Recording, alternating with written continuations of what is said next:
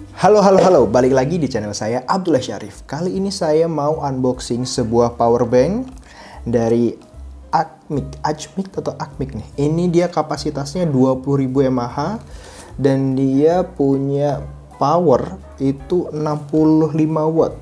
Jadi bisa untuk nge-charge MacBook atau laptop dan kalau teman-teman pakai Samsung yang udah super fast charging, dia support juga super fast chargingnya.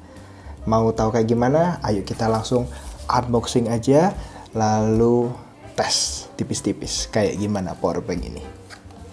Nah kayak gini kalau misalkan teman-teman beli ya paketannya datangnya itu tadi kelihatan tuh ada free pouchnya.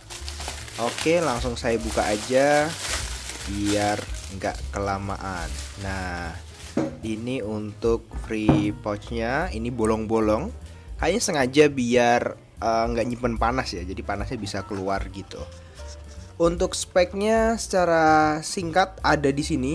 Nah sebenarnya bukan singkat ya ini spek lengkapnya loh kalau bisa dibilang nih.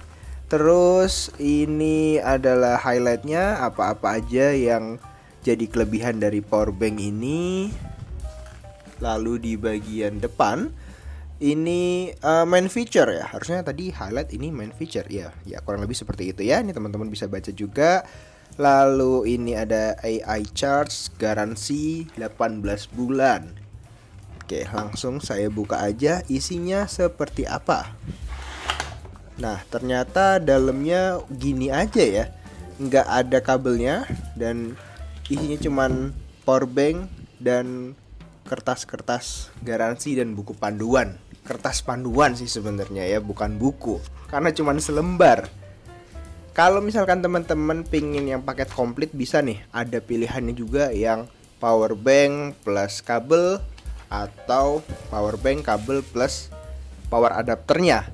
Itu harganya otomatis lebih mahal. Nanti dari link yang ada di deskripsi teman-teman cek. Nah, ini bodinya black matte kanan, kiri, depan, terus yang bagian atas dan bawah ini glossy, pasti gampang baret nih. Tapi ya oke, okay, saya copot aja karena biar bisa uh, ngefeel langsung ya rasanya tuh. Jadi kalau punya barang itu mending dicopotin semua aja karena kita udah beli nih biar bisa langsung nyobain gripnya. Terus teksturnya kayak gimana? Ini tombol power untuk nyalain. Nah, ini baterainya lumayan nih. Ada sekitar 75% kurang. Ini langsung saya coba tes untuk charge MacBook. Apakah bisa nyala? Oke, masuk. Berarti powerbanknya no issue. Terima kasih Acmic. Jadi sebenarnya Acmic atau Acmic ya. Oke, sekarang nyobain untuk cas HP kayak gimana. Ini Samsung S22 Plus harusnya bisa super fast charging. Nah, bisa. Ini petirnya ada dua, warnanya apa? Cian. C I A N. Baca gimana? Kian gitu ya pokoknya aman nih dipakai ngecar Samsung dia bisa super fast charging jadi 0 ke 100 kurang lebih satu jam. Ini portnya bisa dilihat ada tiga untuk outnya. Yang paling kencang 65 paling rendah 18 watt. Ngomongin build quality-nya ini solid banget asli ya. Berat sih memang berat ini. Karena mungkin memang kapasitasnya besar ya 20.000 mAh tapi ini keras nih kayak bata gitu. Jadi kerasa mahalnya. Ini kalau dibandingin sama S22 Plus kayak gini ya bentuknya nah ini tadi highlight yang ada di box garansinya satu setengah tahun itu lumayan lama ya kalau untuk power bank ini di pause aja teman-teman kalau mau baca spek lengkapnya kayak gimana oke nah ini kalau dimasukin ke pouch Nih, kalau saya bawa nanti kayak gini. Teman-teman tertarik juga untuk punya power bank ini, boleh langsung klik di deskripsi.